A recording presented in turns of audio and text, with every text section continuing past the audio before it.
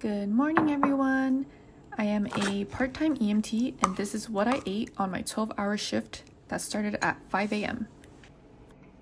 I started my day off with cashew milk yogurt and a banana.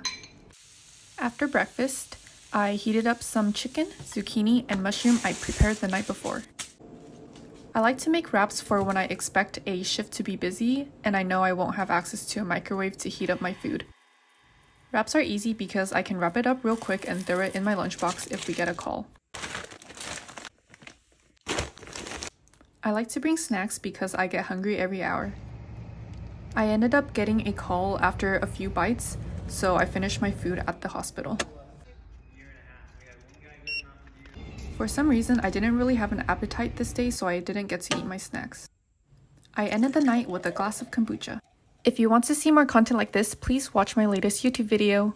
Bye!